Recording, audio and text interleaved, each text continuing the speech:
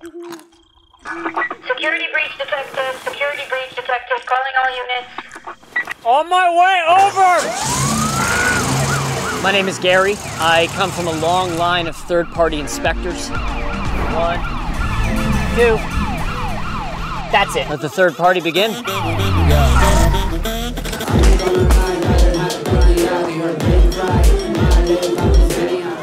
a threat. I use a threat. Someone's a threat. There's always a threat. Yeah, you know, a lot of security breaches come from third parties. Wow, so how do you handle that? Sir, I'm asking the questions.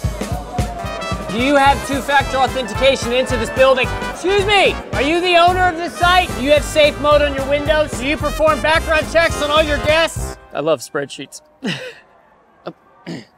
you see, I have a list of over 300 questions, and I'm not clearing this party until I have each and every one fully answered. Do your software applications check the validity of all the data that's in?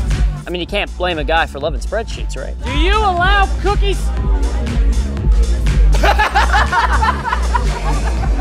I'm very thorough.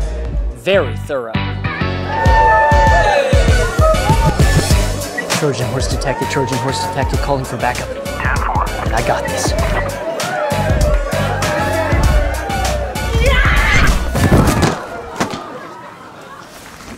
Forget about incomplete, inaccurate, and tedious third party security.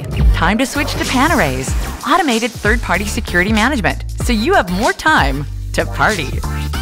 Are you guys authorized to film here? What kind of camera is that? How about this guy over here looking real suspicious? What's your name, sir?